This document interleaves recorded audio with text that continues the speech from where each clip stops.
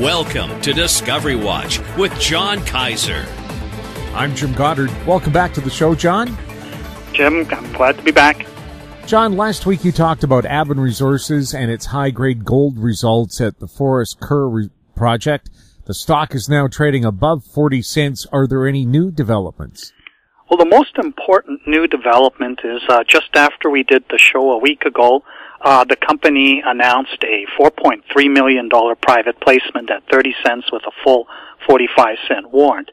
And the important thing about it was that Eric Sprott led it. He bought about 45% of it. Uh, and uh, and this has helped, uh, in addition to the 800,000 that's come in from some recent warrant exercise, put their treasury at six million dollars. So Aben is in excellent shape to continue work on at Forest Kerr as long as uh, you know the, the the the season allows, and then carry on with its Chico project. Uh, in in the in, in early early spring and January or so in in, in northern Saskatchewan.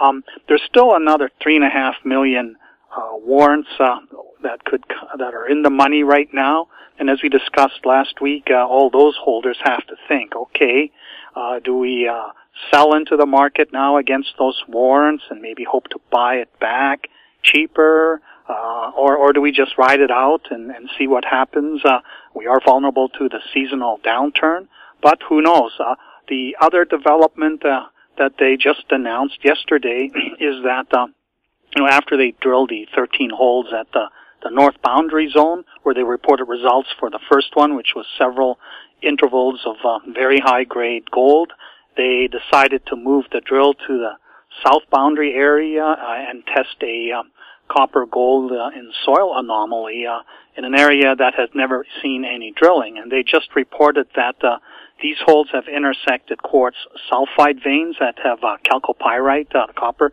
copper sulfide mineralization in it. Uh, uh, they, they, un- unlike the north boundary zone where they can see the visible gold uh, in in the core, in this in this type of mineralogy, you would not see the gold. It would be associated with the pyrite in there. So they need to see what the assays are to, to see if they found the, the source of the uh, the soil anomaly. So uh, we, we're still waiting to see the rest of those um, dozen holes drilled in the north boundary, and uh, they repeated a lot of the um, um, sort of background in the news release, uh, uh, emphasizing the complexity of the geology. Uh, so I'm, I'm hoping that that's not a sign that the uh, results from those other holes are coming in uh, not anywhere near as uh, spectacular as the first hole, but with a shift to the focus, uh, you know, about couple, one and a half kilometers to the south. Uh, this helps uh, the company have at least two focal points within the Forest Kerr project uh, in the Golden Triangle, uh, both of which could end up delivering news flow as drills continue to churn away in that area. We'll have more with John Kaiser right after this. Hi, I'm Douglas Mason, President and CEO of Rainy Mountain Royalty Corp, RMO, on the TSX Venture Exchange. Rainy Mountain's Brunswick property is located in the Ridout Shear Zone in Ontario, with grab samples running as high as 32 grams per ton gold. A follow-up drill program to test numerous targets located by recent groundwork is planned for early 2018. Please visit our website at rmroyalty.com. I'm Brian Fowler, president of Blind Creek Resources Limited, listed on the TSX Venture Exchange, ticker symbol BCK. Blind Creek is focused in the Yukon, Northwest Territories, and British Columbia. The company's key property is the Blende Project, one of the largest undeveloped lead zinc silver deposits in Western Canada, plus plans to advance the recently acquired, fully permitted historic engineer gold mine in the Atlin district of northwestern BC. Check us out at blindcreekresources.com. Welcome back. We're speaking with John Kaiser. John, the $2.1 billion cash bid by South 32 for Arizona mining has now closed. What can we expect next from Richard Warke, whose recent track record has left Robert Friedland and Ross Beatty in the dust? Well, that's an interesting question because yes, uh, with 2.1 billion, that's pretty pretty astonishing uh, uh, accomplishment, and that follows the 550 million dollar uh, uh, Augusta uh, takeover for the, the Rosemont project in Arizona, which in turn followed the uh, one and a half billion dollar takeover of Ventana with its project uh, in in Colombia. So he's turning into a real serial uh, uh, success story. Um, so what what I've done is I've looked at the other companies that he's associated with, and one that uh, popped up uh, recently is a is a shell company called Armor Minerals, uh, which has about um, you know forty something million shares outstanding. And he and Robert Pirooz, who is a lawyer and who has also been a director of um, his other companies, uh, uh, they together own about 98% of the stock. And, and there was another fund, which they bought mostly at uh, 5 cents and at 12 cents. And then there was a million dollar financing done that was uh, uh, sprayed around some other people uh, who have some stock. But this is what you call an old fashioned super shell. There's about uh, 78 million shares uh, fully diluted. If they exercise their 5 cent warrants, uh, these two uh, uh, individuals will own 99% of the stock with maybe a million, million and a half shares in the public float. And what's interesting is uh, recently the stock has dropped from its 40 bid, 60 uh, offer range and has been selling down into the mid 30s. And it turns out the seller is Robert Pirooz, who uh, has started selling into the into the bid, and it looks like the, they're they're trying to get the stock to be at a more reasonable value because the project they have, uh, they haven't had much to say about it. Uh, uh, their website doesn't even have any information about it. So this this is a shell company uh, which is probably going to end up going lower, but it's it's really uh, you know a, a puzzle as to what they can put into it. Uh, and, uh, and and how anybody else will make any money from what is almost a private company.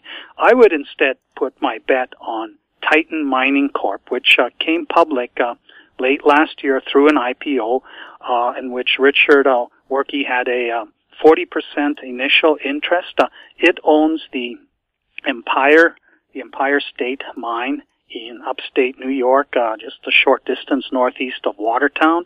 This facility uh, is a zinc mine. It's been processing uh, ore from SEDEX zinc deposits in the vicinity. It was on care and maintenance when Titan Mining took it over, and uh, and they have now put this back into production, about 1,800 tons per day. Uh, they are doing drilling to uh, expand the resource. When they went public, they had about 4 million tons of uh, $300 rock, uh, reporting only only a zinc a zinc credit, uh, and uh, they w- will be drilling deeper targets, also scavenging around in the general area to look at other deposits that they can uh, uh, delineate and and bring to this operation to feed.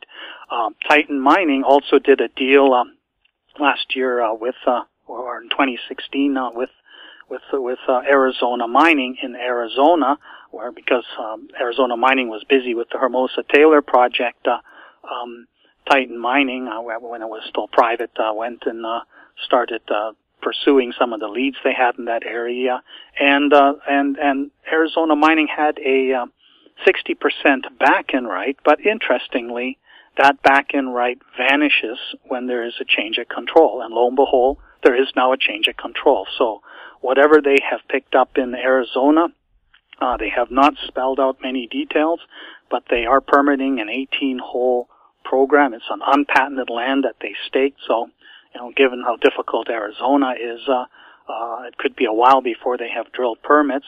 But uh, since the start of the year, Richard has himself bought two million shares in the open market at prices between a dollar eleven and dollar forty four. So he clearly believes in this company, and uh, uh, he may not limit his activities to build a, uh, a zinc powerhouse uh, out of just this uh, Empire State Mine and, and, and the surrounding area. Who knows? He could even be uh, uh, paying attention to Bob Wares, who has just been promoted from plain chairman to executive chairman of Osisko Metals, and we we talked about Osisko Metals in a in, in a previous Discovery Watch episode. Uh, they have the Pine Point project uh, up in the Northwest Territories, where they're doing a, an extensive drilling program to upgrade into 43101 category enough. Uh, uh, or to put this thing properly into production. Um, they are ailing a bit right now because uh, they do want dollar twenty a pound zinc, and with all this uh, anxiety about the uh, trade war and the sell-off in the metals market, the zinc is now back below a dollar twenty, which is not really helping the uh, the zinc optionality cause. But they are also very much focused in the um, Bathurst area of New Brunswick, where they are doing exploration drilling, and uh, and this is and this is an area uh, which, which uh, you know also an old camp, uh, largely depleted. Uh, but the uh, you know Brunswick deposit uh, churned out 128 uh, number 12 turned, churned out 128 million tons of 8.6% zinc and 3.5% lead. Um, they're now looking deeper and, and in more clever places for uh, ore left behind. When Noranda had this area, it looked for big, giant deposits similar to number 12. Didn't really find anything.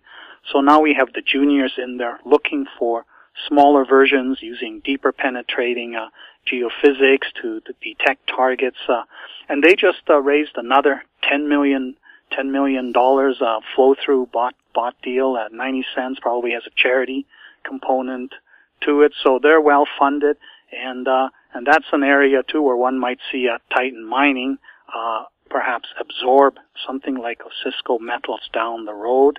But for now, I think they will uh, focus on, uh, uh, on on on in the New York State area, northern New York, uh, to see if they can put together more uh, or to feed the mill and extend the life beyond the 2024 that the current resource uh, uh, makes possible. We'll have more with John Kaiser right after the break.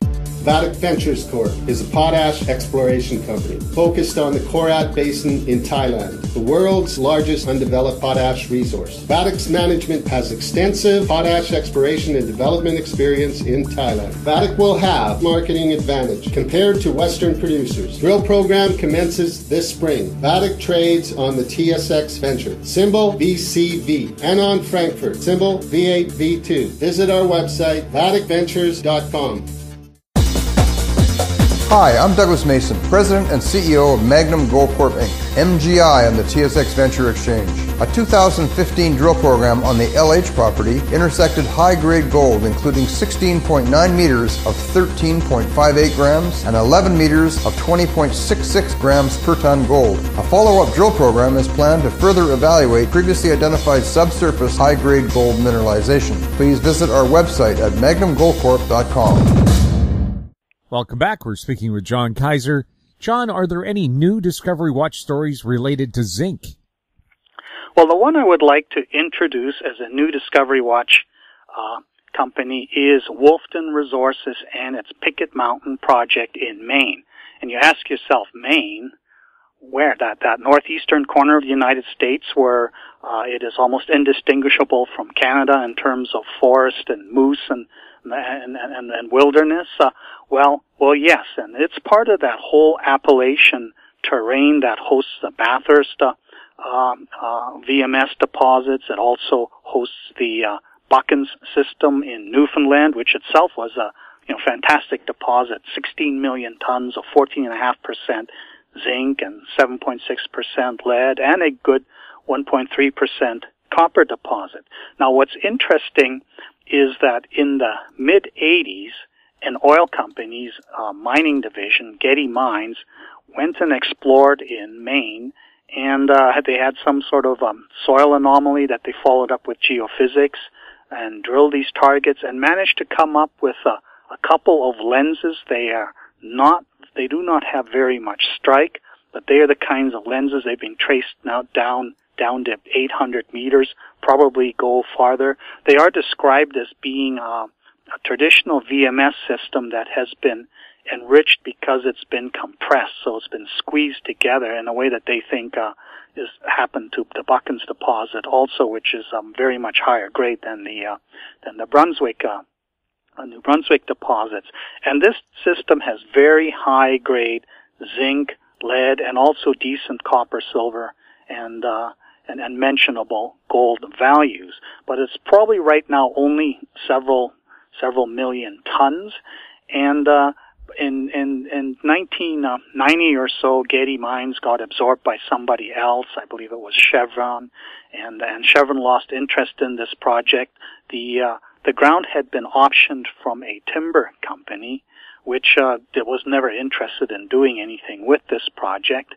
And Maine itself in, in 2013 decided it was going to review its mining mining law. And in 2017, they finally came up with a new regime that outlines exactly what you need to uh, get something permitted. But there are a couple provisions, and one of them is that there is um, no open pit mining allowed in Maine. So all these optionality type plays where you're going to dig a big pit and uh, and and go you know wander down the grade curve and then hope for a, a rise in the metal prices to bail you out and make it worth developing. That's not going to work in Maine. And they also uh, introduced something that some of the Canadian provinces have introduced, which is that you need to put up a hundred year bond for monitoring uh, whatever mess you have created uh, in the site, and and of course that bond is related to the footprint, the disturbance. So underground mining is what you're after in in in Maine, and what Wolfden did is uh, it approached this timber company to option the project, but the timber company said, you know, we don't really want to have anything to do with mining. So they said, we'll sell it to you for US eight and a half million dollars. And so the company agreed. And of course, Wolfden, uh, it's, it's, it's a, one of my bottom fish companies. It had been focused on its, uh, Bathurst, uh, complex of projects and it also had some nickel, copper, cobalt, uh, plays in, in, in Manitoba. But it managed to uh, strike up a relationship with, uh, with Altius, uh, Minerals Corp, which uh, is a royalty company. And Altius, which uh, has a fair bit of familiarity with the Buchans deposit, uh, it said, okay, we will uh, buy a royalty in this project. Uh, uh, they put up uh, uh, some certain amount, uh, about five million or so dollars to buy, one, buy a 1.35 percent royalty with an option to buy another half percent. For for seven million dollars, and this is U.S. And then they also participated in a 25 cent financing. They put up another three and a half million dollars at uh, at 25 cents. So this enabled Wolfden to acquire this project outright with only the royalties granted to uh, Altius.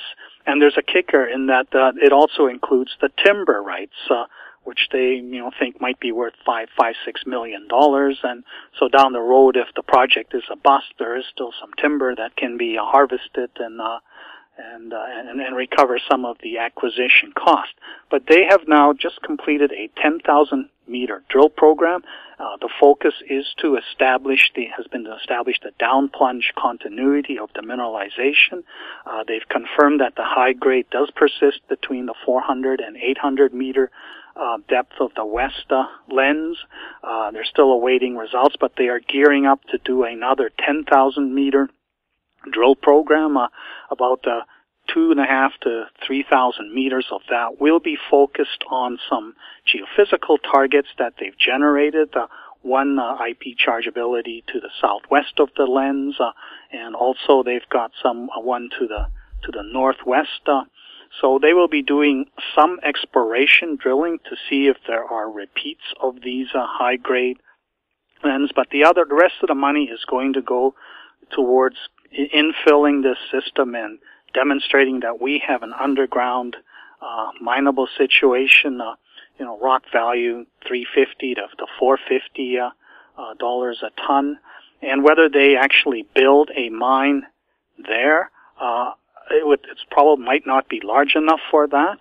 Uh, to build an entire milling complex, but they're not very far from a railroad, so they could rail this ore conceivably to Titan Mining's uh, Empire State operation where they could uh, handle this. So, so the the linkage between Titan Mining and what uh, Wolfden has has uh, taken on in Maine, uh, it, it's a new thing that's opened up. Maine's been off limits. Uh, they were one of the first to move in and take advantage of a of a stranded system that was abandoned because of uh, you know change in attention and uh, you know hostility towards having any sort of mining going on in, in a place like Maine.